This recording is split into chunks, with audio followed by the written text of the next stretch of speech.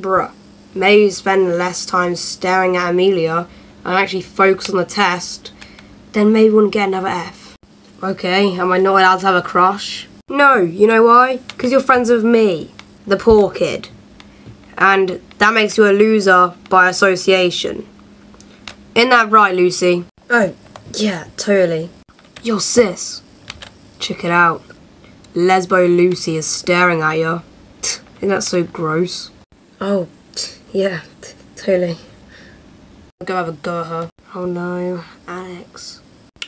Yo, Lesbo Lucy, if you look at my sister ever again, then I'll shove a pole up your ass so you can actually know what it's like to be normal. I don't talk to her that way. Oh, what? You want to have a wrestling match, poor boy? That's what your mum said last night. Alright, trash mouth. Let's fight. Tears it. Why is the teacher never in a stupid classroom? Grammar class. I had to stop for a donut. Of course he did. Uh, sir, can I be excused? It's just that I've actually got a job interview. Wait, really? Yeah. I'm actually not even joking. I'll, I'll show you the papers. Ah, Ghoul Ranch. I'm surprised it hasn't been bulldozed down. anyway, um, you can be excused.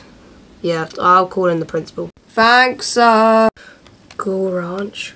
So, according to your resume, it seems like you're a good kid. I mean, your grades are pretty bad, but, uh, yeah, you actually seem alright.